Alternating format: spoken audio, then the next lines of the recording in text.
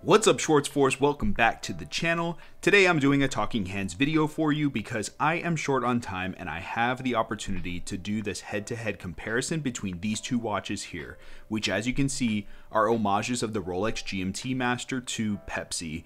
Now, my brother-in-law's son recently started getting into watches, and when I showed him a bunch of options to consider, he loved the look of the Pepsi, so I decided to pick up the Holuns GMT, which has no video reviews that I could find, and then of course the Pagani Design GMT, which has a ton of reviews. And I'll compare them side by side for you all, and let you know which one he decided to keep. Now for this head to head, I'm scoring each category between 1 to 10, keeping in mind that these are 80 to $100 homage watches, maybe a little bit more if you pick it up on Amazon here in the States. So I'm rating it as such and not alongside the ranking of what the real Rolex would score in these same categories, so keep that in mind. My scores in a few of these categories are subjective, so I invite you to score them with your own rating and let's see how closely we are at the end of this video. Now that said, let's get into it. So first I want to show you each watch side by side with the real Rolex reference 126710 BLRO, which we'll of course nickname the BLRO, and then of course side by side with the older Neo Vintage model, which is the Rolex reference 16710, so you can see some of the differences and similarities at a glance. Let's begin with the packaging.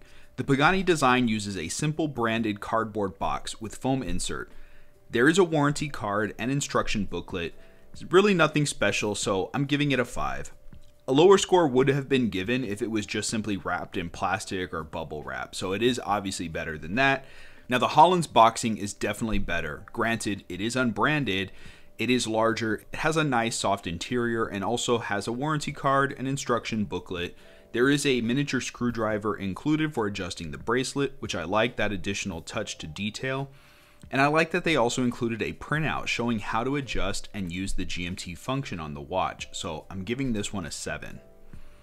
Now moving to the style category, this is really subjective because depending on your taste, you're either going to consider one being better based on how closely it mimics the original Rolex design, or you may consider the better one to be that which has some original elements or design features to it. Now, for me personally, an homage scores better if it more closely resembles or copies the original design. The Pagani design is more of an homage to the BLRO, being that it has the high polished center links, it has the more modern bezel design. However, there are a lot of elements that are not like the Rolex, such as the exhibition caseback. The date wheel and magnification is off slightly, the rehaut is sterile, the crown is too big, and the second hand is different as well. I still give it a 7 though because at a glance it looks really good. Now the Holuns is much more similar to the Rolex features such as the second hand, the rehaut with the branding etched into it, the crown size, the date wheel magnification, and that solid caseback. But it's also mixed with the old 16710 design by having the all brush bracelet. So for that reason, I give it a 7 as well. For the weight, both watches are very close, sized to fit my wrist. The Pagani is coming in at 141 grams and the Holuns weighs in at 140 grams. Moving to the bracelet, again, they're very similar. Both have male end links, and if measuring them, the lug to lug height with those male end links comes out to 53.1 millimeters on the Pagani and 52.3 millimeters on the Holuns. Both taper from 20 millimeters down to 15.5 millimeters. They both have vented slots, and both feature screw pins. While the difference in the male end-link distance is minimal, I have to give the advantage to the Holuns taking a score of 8 over the Pagani score of 7. Next we'll examine the clasps. Again, both very similar, they have spring-loaded ends, both lock in nicely, and have a fold-over locking mechanism. They both have rather loose tolerances and play in them, and the Pagani clasp is just a tad shorter than the Holuns clasp. The Pagani clasp is supposed to have that 5mm diver extension feature, however, this one does not budge, so I can't even adjust it. And assuming it would work as designed, I would give the overall clasp a 6. Now, the Holuns features a glide lock style clasp that does work well, but it's just a tad gritty and clunky feeling to use, so I can only give it an 8 at the best. Next is the legibility of the dial and the bezel. Reading the time on both watches is very simple, but the differences are subtle. The red GMT hand on the Pagani is just a bit brighter in color, but the hands on the Holuns seem wider and easier to see. The crystal and the cyclops on the Holuns also seems clearer. The hour markers are positioned more like the Rolex, where the Pagani hour markers are practically touching the minute markers. It just looks a little off to me. Also, the hour markers on the Pagani seem more dull looking and just overall less bright. Now, all of these features are relatively minor, but it does give a slight edge to the Holuns, taking a score of 9 over the Pagani, which gets an 8. Lume is a tie, both earning a 6. While the Holuns uses green Luminova that is substantially brighter at first over the Pagani's blue lume, once they both fade, they stay pretty dim but readable for many hours in complete darkness. Next, let's move to the bezel. Both have aluminum inserts and both are 120 click unidirectional bezels. The scallop edging on the Pagani is much sharper and easier to turn. It sounds great, there's very little backplay, but the bezel is a lot more loose than I like to see. I can actually move it with just one finger. That's how loose it is. It's also a very fat bezel, which I personally don't like, as the Rolex does have a thinner bezel profile. Now the Arabic numerals on the bezel are etched deep, and they have a nice brightness to them, but the font seems a bit too thin. Also the dots between the numbers are a bit too small, and the spacing seems off as well. Now that said, I still give it a 7.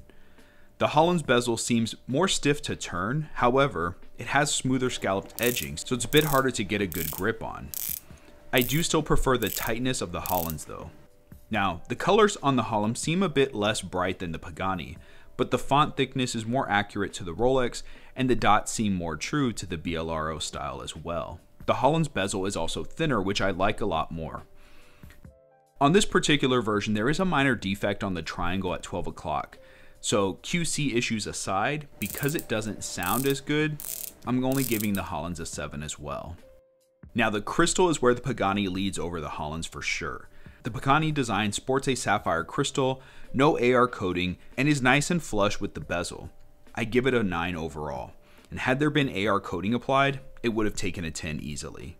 The Holuns also lacks AR coating, but it's only sporting a mineral glass crystal, which is a huge bummer because in the listing it even states that it has sapphire, but that is not the case. The crystal also is raised just slightly above the bezel, so I can only give the Holuns a 5. Let's talk movements. The Pagani design is using, from what I can tell, the Mingzhu DG3804 GMT automatic movement, Pagani refers to the movement as a Pearl DG5833, which if I had to guess includes a modified date wheel as the font is different than that on the actual Mingzhu. It features hacking and hand winding and beating at 21,600 vibrations per hour. This particular watch has an accuracy of around minus 3 to minus 5 seconds per day, which is great at this price point. I couldn't confirm what movement the Holuns is using, so if you can tell looking at this video, please drop a comment down below. I would love to find out what actual movement is being used here. It does also feature hand winding and hacking, and it's also running at 3 Hz, but it has an accuracy of minus 8 to minus 10 seconds per day.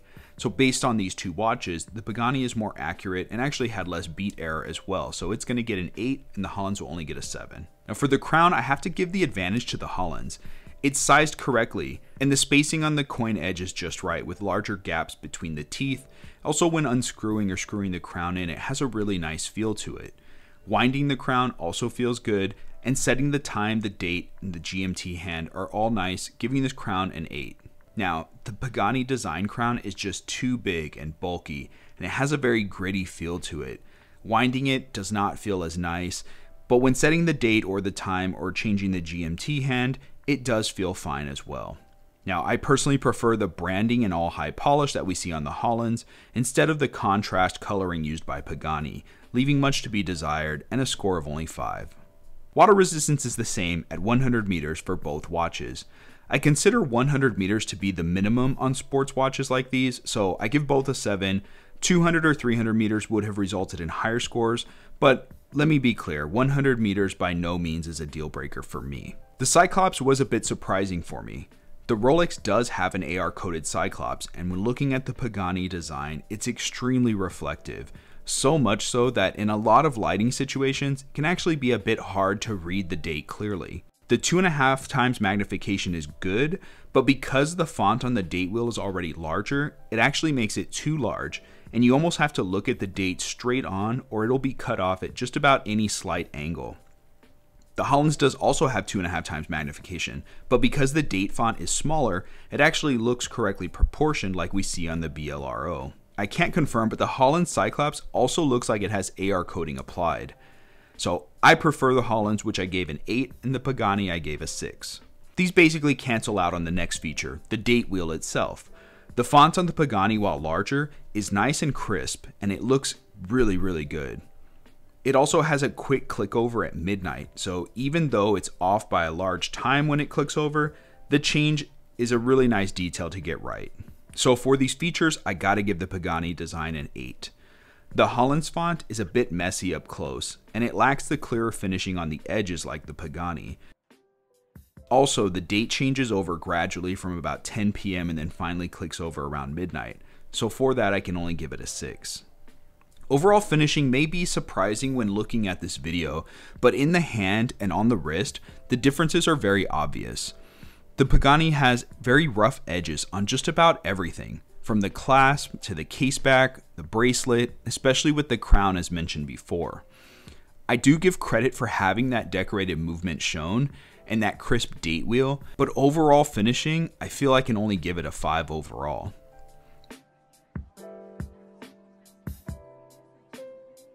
The Holuns just feels better.